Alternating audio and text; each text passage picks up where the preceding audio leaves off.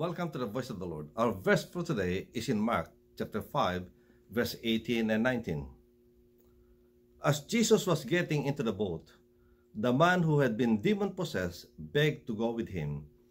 Jesus did not let him, but said, Go home to your family and tell them how much the Lord has done for you and how he has had mercy on you. Oftentimes, we react and respond the way that this demon-possessed man responded. After his deliverance, he wanted to follow the Lord Jesus Christ in the ministry. That he wanted to just go with Jesus as uh, he travels around.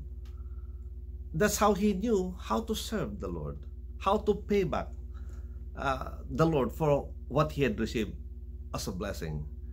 But friends, Jesus has another plan. And this plan is not for this demon-possessed man only, but even for each one of us. Because he said that, go home to your family. See, you want to serve me?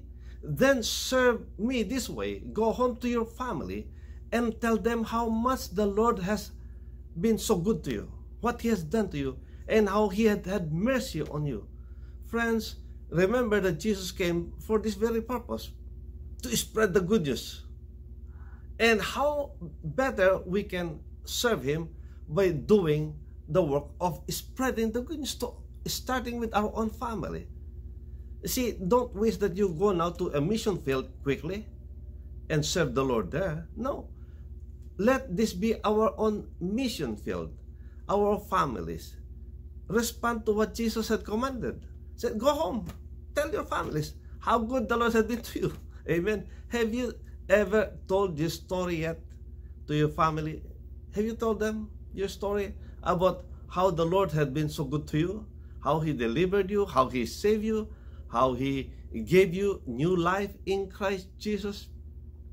Have you shared your story yet to your family? So that they would know that indeed you are born again? Have you shared how they can also be born again? Friends, this is what Jesus wants us to do. Now that we have been saved, now that we have been delivered from our oppression, see, we were like this demon-possessed man before. We were living in sin. Yeah, we were struggling in sin. There was no hope. But suddenly, the Lord Jesus Christ came to deliver us from sin. And we became new creation in Christ Jesus. Now that we are here, what will you do? Then he said that go back to your own home. Amen. That is the first mission field for each one of us. Let's go back to our own home. Tell them about your conversion experience, how the Lord had changed your heart and your mind and your whole being, transforming you uh, from uh, uh, the kingdom of darkness into his wonderful light.